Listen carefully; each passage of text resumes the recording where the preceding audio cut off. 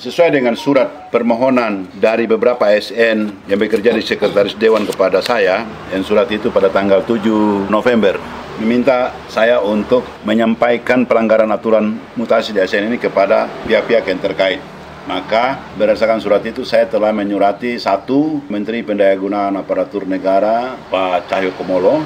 Kemudian saya juga menyurati KSN wilayah 2 di Jakarta, kemudian Ombudsman Republik Indonesia di Jayapura karena ini berkaitan dengan administrasi negara, kemudian Gubernur Papua, Bupati Mimika dan juga Kapolres Mimika.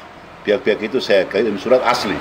Inti daripada surat itu untuk menyampaikan tentang adanya mutasi ngaur, mutasi yang ngaur dan brutal yang dilakukan oleh seorang OPD yang mungkin menurut dia benar, tapi menurut peraturan di Undang-Undang ASN itu salah. Salah oleh karena yang bersangkutan melakukan mutasi langsung menempatkan anggota-anggota ASN itu di tempat yang diinginkan oleh seorang OPD. Dan ini diamini oleh Bupati menurut Sekwan.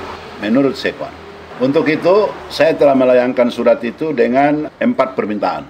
Yang pertama saya minta kepada Menteri Pendayagunaan Aparatur Negara, Komisioner ASN dan juga Ombudsman untuk mereka membuat tim. Untuk apa timnya? Untuk melakukan investigasi melakukan penyelidikan, mengungkap apakah yang saya sampaikan ini mengandung kebenaran atau tidak, berkaitan dengan mutasi yang dilakukan secara ngawur. Juga saya meminta kepada pihak-pihak terkait ketika para ASN ini mereka gugat nanti ke PTN dan itu PTN terima gugatan itu justru dia sendiri yang juga melaporkan pemerintahannya dan pemerintah itu yang justru malu. Untuk itu saya sarankan untuk tidak dilanjutkan ke PTN tapi dinyurati saja saya akan menyurati membantu untuk menyurati kepada pihak-pihak terkait supaya bisa diambil langkah-langkah secara internal. Jangan sampai digugat PTN jadi rame, akhirnya pemerintah jadi malu sendiri.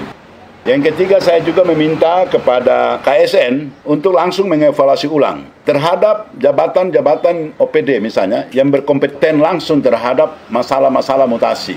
Itu dievaluasi mereka supaya mereka tidak liar dengan secara gegabah menggunakan kewenangannya dan juga bisa diduga kuat juga menyalahgunakan kewenangan dan menggunakan mengeluarkan surat palsu bahkan mungkin saja menggunakan tanda tangan tanda palsu.